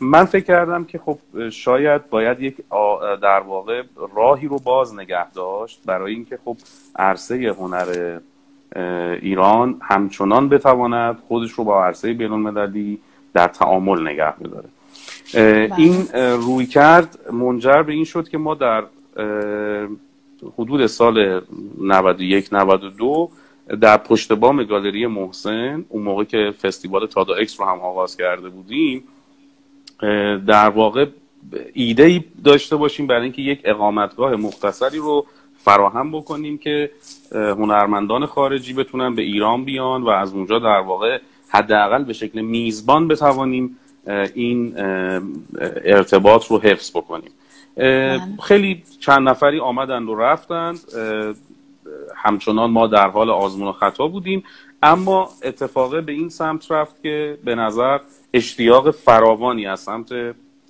هنرمندان خارجی برای تجربه ایران به عنوان یه سرزمین پر از استعداد جوان و پر از مکاشفات تازه برای اونها این علاقه رو تشدید کرد تا اینکه در سال 1393 یا 2014 من فکر کردم که با استفاده از اون تجربه و با همین نیت که به طور جدیتری یک اقامت هنری تازه در بخش خصوصی در ایران تاسیس بشه کوشک رو که در واقع کلمه فارسی هم بود از در واقع معماری ایرانی می آمد به تفرجگاه های در واقع شاهان ایرانی در طول تاریخ اشاره داشت که در واقع شبیه به همین ایده یک فرصت بود برای در واقع اونها تا بتونن در واقع خودشون رو بازیابی کنن. این کلمه رو در واقع به عنوان یک کلمه که هنرمندان خارجی رو هم اتفاقا به سوال بداره راجع به معماری و فرهنگ ایران و از سمت دیگه یک فضایی در مرکز شهر که بتونه در واقع اون روحیه تهران امروز رو به هنرمندان خارجی نشون بده. کوشک تأسیس شد در همون تابستان شش سال پیش و از همون ابتدا هم یک ایده خیلی خیلی ساده داشت که فکر می‌کنم که باعث شد اتفاقا با همین سادگی نتایج جالب و توجه زیادی رو در کشورهای اروپایی و آسیایی برمیانگیزه. و اون این بود که ما توجهمون رو معطوف کردیم به برنامه هایی که اساسا بر اساس تبادل هنرمندان شکل می گرفت یعنی اینکه می‌دونستیم که هنرمندان بسیار زیادی مایلند از کشورهای آسیایی و مخصوصا اروپایی به ایران بیان. اما ایده ما این بود که خب در ازای هر هنرمندی که به ایران خواهد آمد ما دلمون بله. می‌خواد که یک هنرمند ایرانی رو هم شما میزبانی بکنیم. و این در واقع ایده آغاز خوبی شد که خب تا امروز بیش از صد هنرمند از بیرون از ایران به کشورمون اومدن و قریب به پنجاه نفرم که از ایران به سایر کشورها رفتن. بسیار عالی ممنونم. برنامه ها و پروژه های کوشک چگونه طراحی و تدوین میشه؟ طبق اون چیزی که در سایت شما قرار می‌گیره. ببینید اساسا عرض کردم علاقه ما به در واقع پروژه هایی هست که اصطلاحا بهشون برنامه تبادل یا اکسچنج پروگرام میگیم. یعنی در واقع اینکه دو هنرمند یا بیشتر در شکل یک تعامل مشخص که قرار در یک زمینه مدیومی با همدیگه فعالیتی داشته باشن در کشور میزبان و مقصد برای هر کدوم از اونها طی دو دوره یک ماهه در واقع با همدیگه تبادل فرهنگی و تبادل هنری می‌کنن. من یه نکته رو در واقع ابتداعا شاید بگم برای اگر که دوستانی هستن که ممکنه خیلی دقیق شاید کوش رو نشناسن و یا تجربیات رزیدنسی رفتن یا به هر حال از دور و نزدیک آشنایی داشته باشن و نداشته باشن ببینید واقعیت اون چیزی که در راه اندازی کوشک برای برنامه ها مد نظر ما بود این بود که ما بتوانیم در این روزگار دشوار اقتصادی هنرمندان جوان ایرانی رو پروموت بکنیم. شاید اگر که در واقع با بخش اول گفتگوی امروز شما در مورد سیته بخوام مقایسش بکنم روی کرده ما اساسا روی کرده دیگری بود. ما بیش از اون که دنبال هنرمندان ناماشنا اتفاقا با رزومه پرباری از رزیدنسی ها نمایشگاه ها ما اتفاقا روی کردمون بر این بود که هنرمندانی که جوان هستند اتفاقا در رزومه خودشون هم لزوما خیلی تجربه رزیدنسی رفتن ندارند و یا فرض بفرمایید لیست پرباری از نمایشگاه های انفرادی و گروهی. ما در واقع دقیقا هدفمون رو اون پروپوزال قرار دادیم. اینکه چطور یک هنرمند مایل بره و تعامل فرهنگی بکنه در کشور میزبان در شهر میزبانش. با اون جغرافیا با اون تاریخ با اون مواد و مصالحی که اون در واقع جغرافیا بهش میده و تکنیک هایی که مثلا بومی اون منطقه است. همونطور که فرض بفرمایید یک هنرمند ایرانی خارجی وقتی به ایران میاد خیلی مشتاقی که مثلا بره اصفهان و برخی از تکنیک های در واقع سنتی و کرافت ایرانی رو بتونه از نزدیک ببینه و در کارش متاثر بشه و استفاده بکنه یا مثلا بله. فرض بفرمایید که بره جنوب از تکنیک های مثلا فرض بفرمایید توربافی و ماهیگیری استفاده کنه یا مثلا فرض بفرمایید که از تکنیک های بافتن فرش و پارچه در ایران برای همین در واقع ما اینجا به جای اینکه اولویت رو بر هنرمندان مجرب و اتفاقا صاحب جایگاه مشخص هنری بگذاریم توجهمون رو یک به هنرمندان جوان که اتفاقا به زبان انگلیسی به عنوان زبان پایه تعامل بین المللی در حوزه هنر اتفاقا یک اشراف حداقلی داشته باشند برای همین مصاحبه های اونها همیشه به زبان انگلیسی از ابتدا تا امروز اتفاق افتاده. حتی کوش وبسایتش وبسایت انگلیسی زبان بوده. برای اینکه در واقع به هنرمندان یادآوری بکنه که فقط صرف اشتیاق به در واقع این تبادل کفایت نمی‌کنه. این حداقل چیزی هست که شما باید برای اون تعامل مشترک به عنوان زبان مشترک داشته باشید. و در ضمن در ادامه همین روی کرد در واقع تلاش کردیم که همواره به کشور میزبان هم و همینطور خودمون این فرصت رو بدیم که در واقع پروپوزال ها رو انتخاب بکنیم. برای همین همواره یک نهادی یک, مثل، یک جای مثل یک رزیدنسی دیگه یک گالری دیگه یک موزه یا هر مؤسسه فرهنگی هنری دیگه در کشور در واقع میزبان و کوشک در این سو سه پیشنهاد خودشون رو برای هر در واقع امکان تبادل در اختیار مؤسسه روبرو قرار میده و در واقع نهایتا انتخاب نهایی رو اون در واقع مؤسسه میزبان که معمولا یه رزیدنسی هست در کشور دیگه انجام میده. از این رو در واقع فرایند انتخاب یکی در واقع اون روحیه جوانگرایی و روحیه تمایل در واقع به این ارتباطه هست. دو اینکه امکان در واقع یک پروپوزال خوب رو فراهم بکنه و نهایتا سه اینکه ما سعی می‌کنیم ترجیح رو بین سه گزینه نهایی که توسط البته کشور در واقع روبرو اتفاق میفته این رو به در واقع میزبان بدیم که او هم بر حسب اون تجربه ای که داره و بر حسب اولویت هایی که داره انتخاب نهایی رو انجام بده. درسته. در واقع شما یک پروسه عکس رو طی می‌کنین. اینکه یک هنرمند ابتدا دارای یک سابقه کار و رزومه ای باشه که بتونه از این امکانات استفاده بکنه. در مورد اقامتگاه شما به این شکل که هنرمند در ابتدا یک همچین تجربه ای رو خواهد داشت تجربه اقامت در یک کشور خارجی و تبادلات فرهنگی و پس از این تجربه می‌تونه آثار جدیدی رو خلق کنه و در واقع صاحب سبک و صاحب نظر بشه در این مورد. آیا هنرمندانی که از فرصت شما استفاده می‌کنن وقتی که برمیگردن گزارش سفری رو ارائه میدن به صورت مکتوب یا به صورت نمایشگاه و نتایج پژوهشیشون رو چگونه در اختیار دیگران قرار میدن؟ این مسئله وجود داره برای کوشک؟ ببینید البته حالا روی کرده عکس که فرمودین لزوما روی کرده عکس نیست اسمش.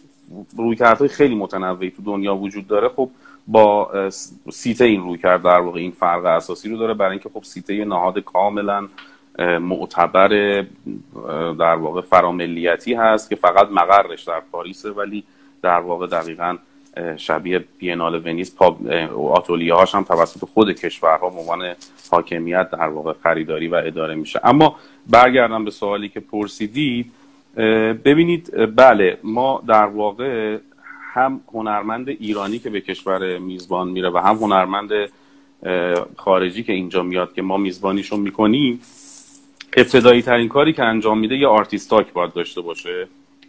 معمولا این هنرمند خودش رو به اون آرتسین در واقع در اون تجربه معرفی می‌کنه. گاهی وقتا این می‌تونه دو بار اتفاق بیفته یکی در ابتدای در واقع اقامتش یکی در انتهای اقامتش. اما در واقع مرحله اول معرفی خودش به اون آرتسین هست که کسانی که دوست داشته باشن میان. خب در سالهای اول تاسیس کوش این اتفاق به شکل در واقع پنل های فیزیکی اتفاق می افتاد توی یک سال اخیر. خب ما غیر از این ماجرا فکر کردیم که شاید بهتر باشه که از مدیوم اینستاگرام استفاده کنیم. برای همین معمولا این رو به شکل ویدیو در پیج اینستاگرام کوش قرار می‌دادیم که همه آدم ها به واسطه خب دشواری که دیگه خودتون می‌دونید در تهران برای رفت آمد بود بتونن در واقع دسترسی داشته باشن.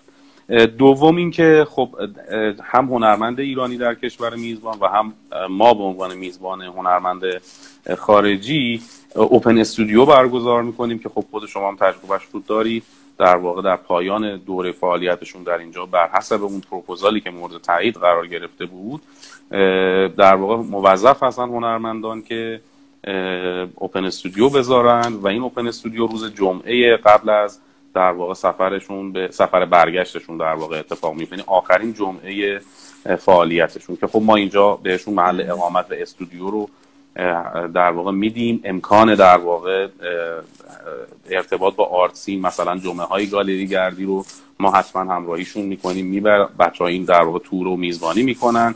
بعد امکان رفتن به جاهایی مثل بازار تهران و یا در واقع راسته های سنفی که در شهر تهران وجود داره برای اینکه بتونن مواد و مساله و در واقع تکنیک ها و متریال ها رو ببینن.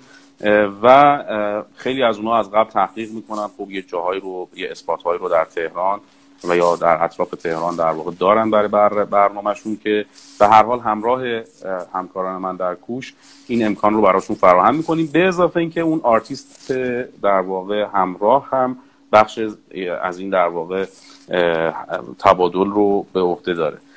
بنابراین در ادامه در واقع سوالی که شما فرمودین باید بگم که گزارشی هم که در واقع هنرمندان ما ازشون درخواست می‌کنیم که در واقع طبق یک الگو و اسلوبی به ما در واقع انجام بدن. در پایان هر دو سمت این برنامه تبادل عمدتا به شکل کتبی هست و گاهی وقتا با عکس فیلم و یعنی گاهی وقتا که اساسا قرار اینطوری باشه که با عکس و فیلم هم آمیخته باشه. و ما یه آرشیو خیلی خوبی از در واقع این فرایندها داریم که اتفاق افتاده. اگرچه که خب واقعیتش باید بگم که لزوما همه هنرمندا هم همونقدر پر جزئیات و پر در واقع کیفیت این کار رو انجام نمیدن که برخی دیگه. درسته. از نظر امکانات آتولیه و محل اقامت هنرمندان خارجی در ایران میشه توضیحاتی رو بفرمایید و همینطور کمک هزینه ها و اینکه چه هزینه هایی رو شما به عنوان برگزار کننده بر عهده می‌گیرید و آیا برای خود هنرمند هم هزینه هایی داره یا رایگان هست؟ در مورد استودیو و محل اقامت که معمولا این شرط حداقلی بر براری هر برنامه اکسچنج یا تبادلی هست. یعنی هم ما اینجا استودیو و محل اقامت رو به رایگان در اختیار هنرمند خارجی قرار میدیم و همین تعهد رو طرف خارجی به عهده داره. اما در مورد سایر بخش های در واقع هزینه ای باید بگم خدمتتون که خب یک نهاد غیر انتفاعی مثل کوش که تلاشش در واقع انجام هرچه بیشتر برنامه های حمایتی برای در واقع هنرمندان جوان هست کوشش خودش رو بیشتر بر انجام تسهیل انجام فرایندها می‌گذاره. نه لزوما فقط و فقط پرداخت کامل هزینه ها به واسطه اینکه در همین روزگار دشواری که هستیم شاید همین حداقل فرصت ها هم در لحظه بستر اون رو باز نگه داشتن اولویت داشته باشه تا اینکه ما فقط و فقط بتونیم برنامه هایی که اصطلاحا full fund هستن رو برنامه ریزی بکنیم یا اجرا بکنیم. برای همین خب در بسیاری برنامه ها بوده که ما تلاشمون رو کردیم برای اتفاقاتی که full fund باشه و نهایتا شاید مثلا به این نتیجه رسیدیم که یک هزینه یو هم به شکل اقامت روزانه یا پردیم به هنرمند پرداخت بکنن در بیرون از ایران. که خب تجربه های خوبی با در واقع همکاران اروپایی در این سالها اتفاق افتاده که خب حتما خودتون هم در جریان هستیم با نهادهای دولتی و حاکمیتی در ایران هم خب تجربه های زیادی رو انجام دادن. اما و با رزیدنسی های خصوصی دیگه در ایران هم که در این چند سال اخیر در واقع تاسیس شدن. برنامه اصلی به نظر من این هستش که ما بتوانیم این امکان این تبادل رو حداقل امکان پذیرتر بکنیم با رایگان کردن بخش های بیشتر. ما همیشه تلاشمون رو برای صد درصد می‌ذاریم اما فکر می‌کنم خب خیلی جاها بوده که شاید با خریدن بلیت رو باید خود هنرمند انجام می‌داده. گاهی وقتها یک هزینه ای شاید برای ویزاش باید پرداخت شده چیزایی این که ما تلاشمون رو کردیم که تا جایی که می‌تونه این در واقع به حد اقل برسه. اما هدف اصلی این هستش که اون برنامه یک ماهی که عمدتا طول برنامه های کوش یک ماهه هست اون برنامه یک ماهه بتونه تسهیل بشه انجامش برای هنرمندان درسته. جناب رسولوف یک سوالی که مطرح میشه و شاید برای خیلی دونستنش مهم باشه این هستش که اصولا منافع مادی و معنوی اقامتگاه های غیر انتفاعی مثل شما در دنیا در کل دنیا در چی هست؟ یعنی به هر حال این هزینه هایی که تقبل می‌کنن برای هنرمندان حالا به صورت فول فاند یا غیره چه منافعی داره براشون؟ ببینید عمدتا توی بیشتر جاهای دنیا یا نهادهای حاکمیتی از جمله دانشگاه ها، موزه ها، شهرداری ها، وزارت های فرهنگ پشتیبان رزیدنسی ها هستن مثل همین مورد سیته که خب وزارت فرهنگ فرانسه هم به طور کامل پشتیبانی می‌کنه ازش. و یه وقتهایی هم شبیه در واقع اونچه که در سنت خودمون هم داریم به شکل وقف در واقع حامیان خصوصی دارن پترون های خصوصی دارن مثل اونچه که در مثلا انگلستان یا امریکا به تعداد زیاد شما می‌بینید. و خب در دوران در واقع جدیدتر و اخیرتر هم خب خیلی اصطلاحا در واقع residency های artist-run تعدادشون زیاد شده که همین کشور خودمون هم الان ما تعداد زیادی residency artist-run داریم. اینکه منفعت مستقیم مادی داشته باشه من فکر می‌کنم عمده residency ها در دنیا اساسا نهادهای تجاری یا business وایزی نیستن. در واقع تلاششون بیشتر این هست که در واقع بتوانند خودگردان باشن نه اینکه سودآور باشن. این خودگردانی و سوداوری تفاوت مهمیه در این در واقع ادبیات. اما منفعت اصلی خب در واقع اون نتایجی هست که از این تبادلات فرهنگی و هنری اتفاق میفته کوش از اگر که باز یکی از ویژگی های دیگرش رو بگم خب از جمله رزیدنسی هایی هست که فقط برای هنرمندان تجسمی در واقع طراحی نشده. چون همون بله. موقع هم ما می‌دونستیم که در واقع رزیدنسی دیگه ای در بخش خصوصی نیست. فکر کردیم خب از ابتدا اینو محدود نکنیم فقط به هنرمندان عرصه تجسمی و خب چه در این سالها هنرمندان موزیک هنرمندان تئاتر و حالا کمتر هنرمندان سینما اما اتفاقا حتی کیوریتورها و پژوهشگرها حتی برای انجام پروژه هاشون و پروپوزال هاشون به تهران آمدند و رفتن این تبادل بخشی از مسئولیت اجتماعی بود که ما فکر می‌کردیم که در این فرایند کلی که در حوزه فرهنگ و هنر در مجموعهمون انجام میدیم به عنوان یک بخش تکمیلی می‌تواند در واقع کمک بکند به شکوفایی هنرمندان و اتفاقا ایجاد اعتماد به نفس بین المللی در اونها و خروجی های بهتر. مثالش در واقع اتفاقهایی هست که برای هنرمندان تجسمی افتاده. از این جنس که نمایشگاه انفرادی بیرون از ایران در واقع تونستن برای خودشون در همین تبادل ها به دست بیارن تونستن در نمایشگاه گروهی معتبر آثارشون رو شرکت بدن یا هنرمندان موسیقی که با همدیگه تونستن به تعامل برسن در خروجی مشترک در طول این سالها.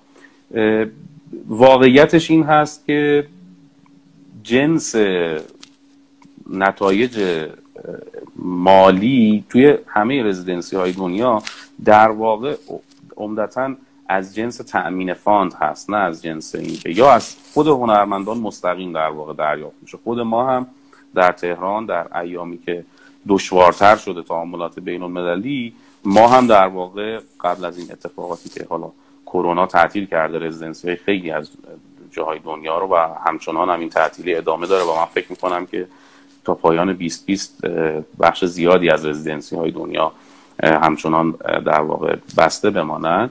تا پیش از این خب ما ما هم بخشی از هزینه ها رو از هنرمند خارجی در واقع مستقیما یا گاهی وقتها از نهاد یا مؤسسش سعی می‌کردیم دریافت بکنیم. اما نکته اصلی در تهاتری هست که صورت می‌گیره. خیلی از مثلا بله. هنرمندا طبق اون روال اخلاقی خودشون در تجربه رزیدنسی هاشون مثلا در حوزه تجسمی آرت ورک اهدا می‌کنن به رزیدنسی هایی که به عنوان میهمان بهش میرن. یا مثلا فرض بفرمایید همان هنرمند موسیقی که خدمتتون عرض کردم در ازای اون اقامت و میزبانی رایگانی که اینجا دریافت می‌کنه و فرصتی که برای تعامل به جای اینکه دستمزد بگیره برای قطعه ای که با هنرمند ایرانی خلق می‌کنه اون قطعه رو در واقع خلق می‌کنه با هنرمند ولی در واقع دیگه هیچ هزینه ای رو دریافت نمی‌کنه. یعنی بخش خیلی خوبی از اون به جای اینکه مستقیما از شکل تخاطر مالی باشه از جنس تخاطر اعتباری رخ میده و بنابراین بخشی از اون انتفاها اینجا می‌تونه باز جبران بشه. از شکل حالا باز بخوایم دقیق ترش رو اگه اون سوال شما باشه جواب بدم. بله درسته. همینطور البته در مورد سمپوزیوم ها هم این اتفاق تعادر میفته به دلیل اینکه حالا برگزار کننده یا اسپانسر سمپوزیوم که در واقع اون هم یک نوع دیگری از اقامت اقامتگاه های هنری هست حالا که بیشتر مهدش در اروپا هست. در واقع در ازای اون مدت زمانی که در اختیار هنرمند قرار میدن اون فضا مکان و امکانات و حتی متریال کاری که در اختیار اونها قرار میدن در ازاش هنرمند یک اثر یا دو اثر از کاری که در همون جا در آتلیه اونا خلق کرده به برگزار کننده اهدا می‌کنه که در نهایت برگزار کننده دارای یک مجموعه با ارزشی از آثار هنرمندان میشه که به هر حال میشه گفت هم از لحاظ معنوی بهره برده و هم از لحاظ مادی. جناب آقای رسولوف چه نهادها و افرادی می‌تونن حامی کوشک رزیدنسی باشن و آیا شما پیشنهادهایی دارید برای اینکه کسایی که بخوان با شما همکاری بکنن و این همکاری ها از چه نوعی می‌تونه باشه؟ ببینید همکاری هایی که در واقع در این سالها بوده و عمدتا عرف هست در این شکل فعالیت فرهنگی تقریبا در همه دنیا از شکل یکسانی در واقع میشه گفتش که ساخته میشه. مثلا در خیلی از جاهای دنیا شرکت های مسافرتی بخشی از هزینه ها رو تقبل می‌کنن بابت اون بخش CSR بیزنسشون و در واقع مسئولیت اجتماعیشون. یا بسیاری از دانشگاه ها یا گالری ها استودیو یا فضای نمایش یا فضاهای از این جنس رو در اختیار برنامه ها قرار میدن. و شاید به طور دقیق ترش اما معمولا fund هایی هست که مؤسساتی از جنس مؤسسات خیلی بزرگ فرهنگی در دنیا مثل شاید انستیتو گوته و مثلا مؤسساتی نظیر اون در دنیا انجام میدن یا مؤسسات خصوصی که باز دوباره برای social responsibility تأسیس شدن ولی در واقع مثلا یک نهاد تجاری مثل Louis Vuitton ممکنه پشتشون باشه. و از اونجایی که خب در حوزه های مختلفی هم فعالیت می‌کنن از معماری و design تا هنرهای دیداری و شنیداری انقدر گسترده از شیوه ای که اتفاق می‌تونه بیفته که خب واقعیتش بیشتر به مصداق زمانی و موضوع اون رزیدنسی برمیگرده نه یک شکل کلی. اما رزیدنسی های معمولا در دنیا خب خیلی خوشبختتر هستن که خب در کشورهایی که یک ثبات بیشتری دارن روابط خارجی امکان بهتری داره شرکت های چند ملیتی و بزرگ در اونها فعالیت می‌کنن. مثالش مثلا فرض بفرمایید که شرکت های ژاپنی کره یا شرکت های آلمانی و فرانسوی که در همین ایران خودمون اگر که در واقع فعالیت می‌کردن در یک فضای باثبات مطمئن باشید که مثل کشورهای آسیایی و اروپایی دیگه اونها بهترین کسانی بودن که می‌تونستن حامیان فضاهای رزیدنسی در ایران باشن. حالا چه کوش و چه بقیه. اما خب انقدر پیچیده است این فرایند ارتباط گیری و انقدر تعریف نشده است و انقدر در به هر حال توقعات اداری که ممکنه در حوزه وزارت فرهنگ ما با این در واقع شرکت های تجاری قرار بگیره که من فکر می‌کنم بهتره که اینا رو خیلی کوچکتر و موضوع به موضوع در واقع هر residency پیگیری بکنه عرض می‌کردم که بله. بهترین فرصت برای هر residency در دنیا این هستش که بتونه در واقع اسپانسر یا fund چند ساله داشته باشه. مثلا اتفاقاتی که من خبر دارم در کشور مثلا هندوستان بسیار زیادن. مؤسساتی که از همین fund های اروپایی سه سال پنج سال در واقع fund می‌گیرن بر اساس پروپوزال هایی که در واقع به اونها تعریف می‌کنن و با خیال راحت مثلا برای فرض بفرمایید یک دوره سه تا پنج ساله برای تعداد مثلا فرض بفرمایید بیش از پنجاه یا حتی صد برنامه رزیدنسی در واقع به شکل خیلی سازماندهی شده و بدون هیچ گونه در واقع نگرانی اقتصادی برنامه ریزی می‌کنن. خب اینا چیزایی هست که در ایران خب خود ما می‌تونیم حتی حتی شاید برای سه ماهش هم الان در این چند سال اخیر پیچیده است برنامه ریزی کردنش. برای همین من فکر کنم در لحظه بهترین راه از جنس تهاتر اعتباری با روابط در واقع دوستانه ای که بین هنرمندان کیوریتورها و در واقع صاحبان اون رزیدنسی ها گالری ها در واقع اتفاق میفته یا حتی حالا بله. تو حوزه های مختلف مثل حتی معماری و فشن هم. باز من فکر می‌کنم تو ایران بیشتر از اون جنس. در واقع بهتره که بیشتر هزینه ها رو کاهش بدیم تا اینکه fund بگیریم. خیلی بیتعارف. یعنی اساسا شما حتی بخواید پول دریافت هم بخواید بکنید در ایران که اصلا تقریبا ناممکنه در این شرایطی که وجود داره. بر همین با ما, بیشتر به اسپانسرهای داخلی می‌تونیم فکر بکنیم که خب در لحظه اونها هم من فکر می‌کنم که در دشواری های خیلی زیادی به سر می‌برن. واقعیتش اینه که در این دو سال اخیر دشواری های ارتباطی از جنس مخصوصا سال گذشته از جنس ویزا هم حتما شما به عنوان کسی که در این حوزه از نزدیکتر درگیر هستید خودتون می‌دونید که بسیار دشوارتر و پیچیده تر شده. چه برای هنرمندانی که از بیرون بیرون می آمدن و هم چه هنرمندانی که از ایران به در واقع بیرون می‌خوام برن. و من فکر می‌کنم که واقعیتش از جنس بسیار پر ریسکی هست فعلا در این شرایطی که اگرچه که کرونا در واقع این business رو در ایران و خیلی جاهای دیگه فعلا تعطیل کرده. اما در پس اون هم فکر می‌کنم که فعلا ما در جایی هستیم که احتمالا باید یه بازبینی کلی باز در مورد روند سالهای آینده داشته باشیم. همونطور که خب خبر هم دارم که بسیاری از در واقع رزیدنسی های بین المللی هم در همین در واقع مشکلات گرفتار هستند و اونایی که در منطقه حالا مناسا یعنی خاور میانه و شمال افریقا و در واقع این نقطه از جهان اونها چه بسا با مشکلات خیلی خیلی بیشتری.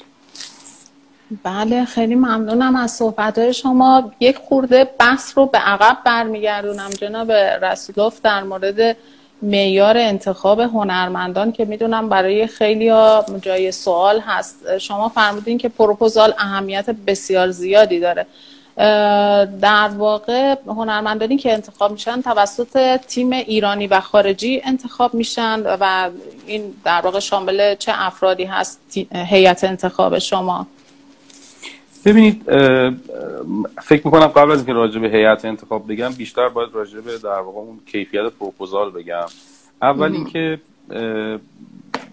پروپوزال مبتنی بر کیفیت هایی هست که ما سعی می‌کنیم متناسبا با رزومه هنرمند هر چقدر هم که به حال یک رزومه کوچکی باشه اما سعی می‌کنیم که اون رو مبتنی بر اون ببینیم. یعنی در واقع هر پروپوزالی از سمت دیگه ای در هر در واقع business دیگه ای هم همینطور هست که ببینیم آیا اساسا این امکان پذیر و اجرایی هست توسط شخصی که در واقع درخواست رو بر اساس اون پروپوزال داده.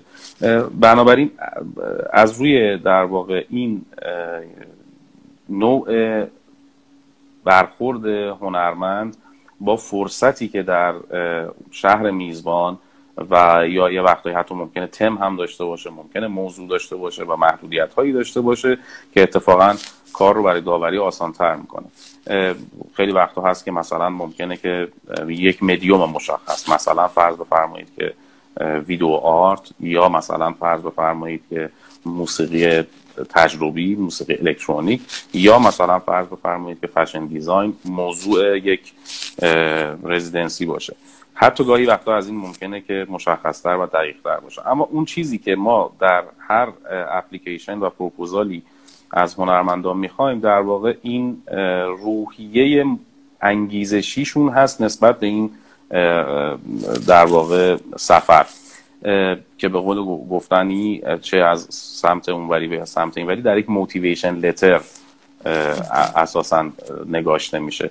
خیلی وقتها پروپوزال ها با هم تناسبات نزدیکی دارند و موتیویشن لتر هاست که سرنوشت اون انتخاب رو رقم می‌زنه. برای اینکه باز شاید از تجربه شخصی کمک کنم به دوستانی که دارن تقاضای رزیدنسی می‌کنن برای حالا سال آینده برای شاید 20 21 بیشتر شاید الان فعلا خیلی راحت نباشه. اما واقعا فکر می‌کنم که خیلی از انتخاب هایی که از هنرمندای ایرانی همکاران خارجی ما در واقع در این فرایند تبادل داشتن برمیگشته به اون کیفیتی که از موتیویشن لتر دیدن میزان بله. صداقت و میزان تناسبش با اون چه که در پروپوزال نوشتن و در واقع اون علاقه ای که این سفر رو قرار رقم بزنه و این تبادل فرهنگی رو معنیدار بکنه این بخش زیادی از ماجراست. اما اینکه در مورد داوری ببینید بستگی به پروژه های مختلف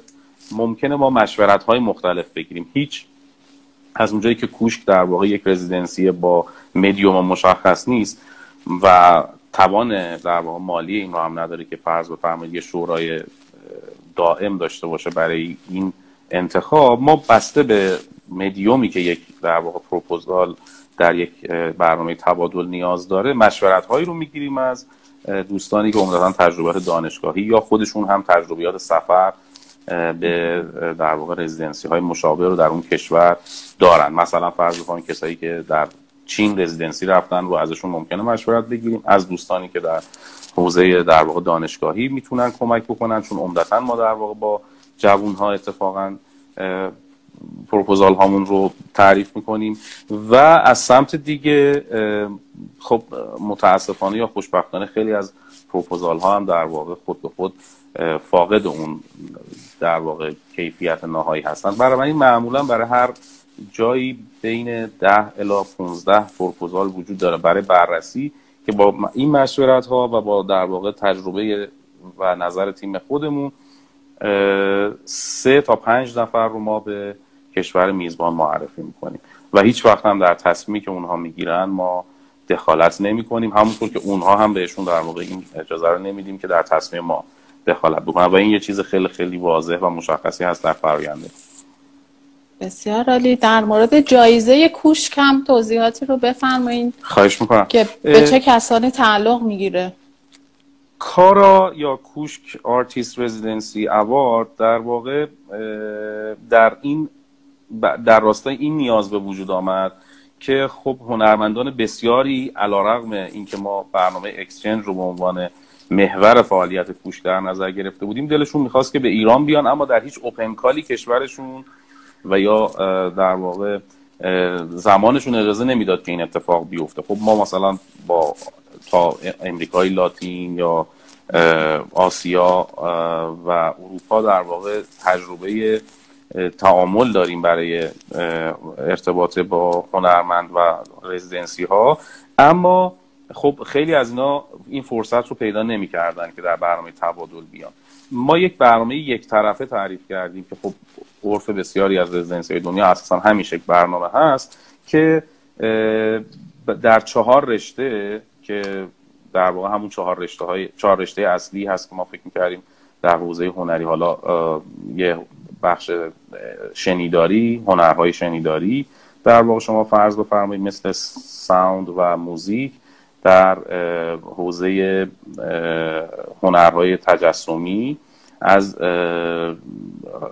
هنر سینما و ویدیو و عرض کنم به خدمتتون که حوزه آخر رو اجازه بدین من از همکارم تقلب بگیرم. بله. یکی دیگه موند. یادم خب حالا performance هنرهای performative مثل تئاتر و performance در واقع که همون چهار رشته اصلی در واقع کلی که میشه گفت هنرهای حالا visual رو میشه توش در واقع و performative توش جا داد. به شکل یک طرفه درخواست میدن در یک برنامه رقابتی که در سالهای اول اپلیکیشن رایگان بود اما حتی اکنون اپلیکیشنش سه سال هست که در واقع با یک اپلیکیشن 20 دلاری در واقع هنرمندان خارجی باید از روی یک در واقع پلتفرمی درخواست شرکت در این در واقع برنامه رو بدن و در دو دو در واقع داوری در دو مرحله داوری که در هر مرحله پنج داور که در از جمع این ده داور هر سال فقط یک داور از کوش حضور داره به عنوان نماینده. یعنی نه داور دیگه همه داورای خارجی و بین المللی هستن. از کسانی که در واقع residency owner یا residency director هستن از کسانی که در واقع curator هستن استاد دانشگاه هستن هنرمند هستن. یک در واقع داوری دو مرحله ای صورت می‌گیره که در مرحله آخر چهار هنرمند برتر انتخاب میشن. اگر که در سالی مثلا فرض فرمایید در حوزه پرفورمنس هنرمند چشمگیری پروپوزال چشمگیری در واقع به دست ما نرسه ما سعی می‌کنیم این فرصت رو به یک مدیوم دیگه که پروپوزال نزدیکی داشته نفر دوم بدیم. این هم در واقع شیوه انتخاب نهایی هست. اما نهایتا تمام مراحل داوری هم مستند میشه و مثلا در این نمونه برای اینکه بدانید پارسال بیش از 150 در واقع اپلیکیشن علیرغم همین اوضاع پیچیده ای که منطقه ما داشت به دست ما رسید که متاسفانه اما قرار بود که خب بهار امسال برگزار بشه که به دلایل شرایط بهداشتی جهانی که پیش آمد امکان پذیر نشد و ما فعلا اون رو موکول کردیم به سال 2021 به خاطر اینکه فکر نمی کنیم تا پاییز امسال در تهران بتونیم واقعا در یک شرایط امنی میزبان دوستان باشیم. اما خب برنده ها اعلام شدن باشون هم در واقع تماس گرفته شد. همه هم مایل به آمدن بودن که خب متاسفانه امکان پذیر نشد بله درسته. شما برای در واقع دانشجویان فشن دیزاین هم این امکانات رو دارید درسته؟ هیچ فرقی نمی‌کنه. ما هیچ در واقع محدودیتی بسته به اینکه اون اوپن کالی که ما فراخانی که ما در واقع اعلام می‌کنیم چه شرایطی داشته باشه. خود کوشک محدودیتی نداره اما عمدتا اوپن کالا محدودیت دارن. برای همین شما از معماری و دیزاین تا هنرهای تجسمی سینما موسیقی علتش اینه که کوشک فکر می‌کنه که انقدر شرایط هنوز در ایران حد اقلی هست که بهتر فرصتی برای همه باشه. تا اینکه بخواد در این روزگار شاید خیلی ایشالا نزدیکی البته که من فکر نمی کنم اما امیدوارم نزدیکتر باشه بتوانیم در واقع رزیدنسی های تخصصی هم داشته باشیم. اما بله. واقعیتش اینه که در لحظه ما تلاش می‌کنیم که هر فرصتی رو پیش روی در واقع هنرمندان و در واقع دستندرکاران حوزه حتی معماری و دیزاین هم قرار بدیم. بسیار خوب خیلی ممنونم جناب رسولوف صحبت های من تموم شده. در واقع سوالات هم شما. اگر نکته ویژه‌ای هست که من سوال نکردم یا شما فراموش کردین ذکر کنیم بفرمایید ببینید واقعیتش اینه که من نکته خاصی که ندارم. فقط شاید به عنوان آدمی که سعی می‌کنم در این سالهای ده یازده سالی که دارم این تجربه مدیریتی رو در حوزه فرهنگ و هنر در ایران می‌کنم یک در واقع فکر می‌کنم هوشمندی لازمه از سمت دوستان در حوزه در واقع وزارت فرهنگ. که من فکر می‌کنم که بهتره که اونها هم مشوق انجام یک چنین اتفاقی باشن. خود شما ببینید که در گفتگوی قبلی دیدید که چه در واقع مسائلی هست که حتی بشه همون چهار آتولیه سیتر رو بعد از این همه سال در واقع اداره بکنیم و یک خروجی خوب بگیریم که منجر به واقعا یک داد و ستد فرهنگی هنری بشه برای کشورمون خب و ما ما هم همه می‌دونیم که چقدر کشور درگیر مسائل اقتصادی و نگرانی های جدی هست. با اولویت هایی که همواره حوزه فرهنگ رو همین مثل همین الان که می‌بینید که خب به حال معمولا در آخر لیست اولویت ها مجبور قرار بگیره و معمولا نگرانی های اقتصادی و سیاسی در ایران با فاصله بودجه ها رو مصرف می‌کنن و چیزی برای حوزه فرهنگ نمیمونه. بنابراین من فکر می‌کنم که بیشترین چیزی که شاید شاید بیشترین دلیلی که من فکر کردم در این live شرکت بکنم و خدمت شما و دوستان باشم حالا غیر از اینکه اگه هنرمندان جوانی سوالی دارن خدمتشون بگیم چون فکر می‌کنم شاید هرچی که گفته شد به طور دقیقتری در کاتالوگ های کوشک و در اینستاگرام کوشک و وبسایت کوشک هم موجوده. اما واقعا همین هست که امیدوارم که اقلا فضای حاکمیتی کمک بکنه به اینکه این اقامتگاه های هنری در ایران هر چه بیشتر. مطمئن باشید که هیچ چیزی در این سالهایی که گذشت بیشتر از حوزه فرهنگ بیشتر از همین گالری ها رزیدنسی ها اتفاقا هنرمندان موسیقی کسانی نبودند که بتونن تصویر واقعی از ایران رو به جهان بفرستن. ما واقعا واقعا بارهای بار هنرمندانی که در این شش سال آمدن چنان سورپریز شده بودن از اونچه که در تهران می‌دیدن از این حجم از در واقع برنامه در یک مثلا فرض بفرمایید جمعه گالری گردی که مثلا هیچ کدوم در کشورهای خودشون نه در پاریس نه در برلین و خیلی جاهای دیگه یک چنین تصوری رو از فضای هنری و فرهنگی تهران نمی‌کردن. برای همین من واقعا فکر می‌کنم که کمک بکنن دوستان در حوزه حاکمیتی هم متوجه باشن که این نه هتل نه هاستله یک فعالیت بله. دیگه است. اشکالی هم نداره کسی ازش درآمدی داشته باشه. ممکنه حتی یه هنرمند تنها در نوک قله نمی‌دونم یک کوهی در آذربایجان این کارو بکنه. ممکنه یه نفر در یک دشتی و یه نفر هم در وسط یک فضای شهری خیلی معاصر مثل تهران، شیراز یا اصفهان. من بله. واقعا پیشنهادم این هستش که دوستان هر چی که می‌توانند بیشتر کمک بکنن که این اتفاق بیفته. من فکر نمی کنم بیشترین اولویتی شاید بیشتر از این باشه که فضای هنری ایران با فضای بین المللی تعامل واقعی داشته باشه. تعاملی که لزوما خیلی هم هزینه برای حاکمیت و مردم و بیت المال هم ایجاد نکنه. اما به نظر من کمک می‌کنه به اتفاقا جوانهای ایرانی که بتونن در عرصه بین المللی اعتماد به نفسی که شایستشون هست و داشته باشن و اتفاقا دستاوردهای هنریشون هم در عرصه بین المللی چه در مارکت و چه در فضاهای هنری مثل بینال ها اعتبار و کیفیت بیشتر و بالاتری داشته باشه. درسته. در واقع چون من خودم سوال زیادی داشتم هم از طرف دانشجویانم هم دوستانی که سوال می‌کردن در مورد این رزیدنسی ها که به چه نحو هست و چگونه هست. بنابراین انگیزه ای شد که این نشست, نشست رو ما شکل بدیم و دوستان هم با فضای سیتا آشنا بشن هم با نمونه ای از رزیدنسی های غیر انتفاعی که کوشک هست آشنا بشم. امید، امیدوارم که در واقع مفید بوده باشه این بحث برای اونها. و ممنونم از شما که شرکت کردید. ما وقت خیلی کوتاهی داریم. جناب رسلوف اگه اجازه بدین من یه چک بکنم سوالایی که اومده. که شما هم لطف بکنید خیلی کوتاه پاسخ بدین که یه وقت ما قطع نشیم. خواهش می‌کنم. خب. آدرس سایت کوشک که خب کاری نداره. می‌تونن search بکنن. page اینستاگرامش هم هست.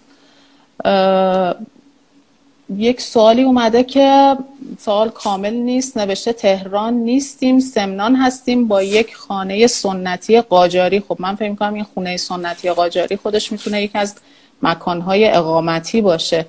آیا ما هم می‌تونیم اقامتگاه هنری داشته باشیم و با شما همکاری کنیم؟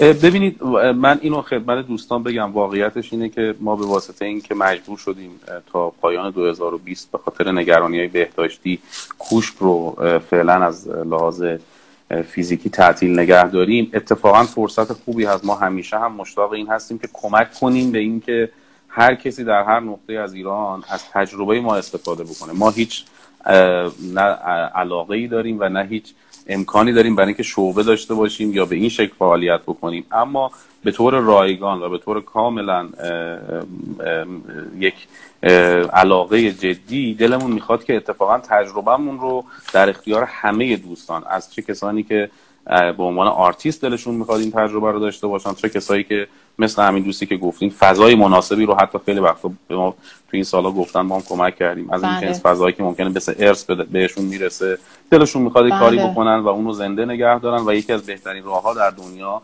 همین هست من فکر می‌کنم بله، حتما همین...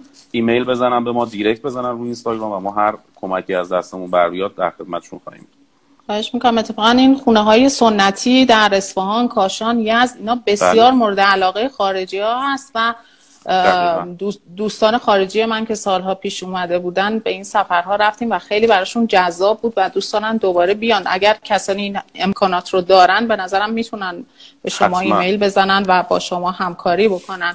خیلی ممنونم جناب رسولوف از اینکه وقت گذاشتید و پاسخ دادین به سوالاتی که برای نسل جوان هنرمندان ما مطرح هست. امیدوارم که انشالله در مباحث بعدی هم بتونیم از صحبت شما استفاده بکنیم. ممنونم از دعوتتون و امیدوارم که شما و بینندگان این برنامه همه در سلامتی کامل به سر ببرن ممنونم. مرسی. خدا نگهدارتون. عصر بخیر.